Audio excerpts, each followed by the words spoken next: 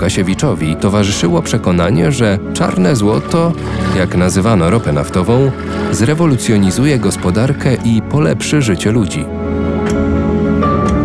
Gorliczanie mu to do dzisiaj pamiętają, że podczas tej wielkiej epidemii cholery rozdawał leki za darmo i to jest mu cały czas jako wielka zasługa podnoszone. Jasło to jest ten moment, kiedy Łukasiewicz z farmaceuty, z aptekarza staje się nawciarzem, przemysłowcem.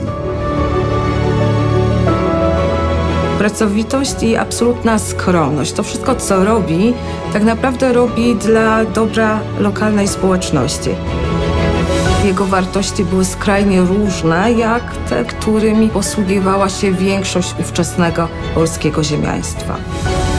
Ta fundacja wydaje się czymś naturalnym, a równocześnie jest dowodem na skromność Łukasiewicza.